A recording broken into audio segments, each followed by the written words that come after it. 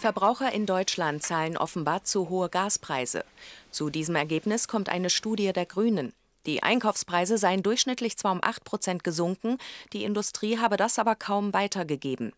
Stattdessen haben die Versorger rund eineinhalb Milliarden Euro mehr eingestrichen.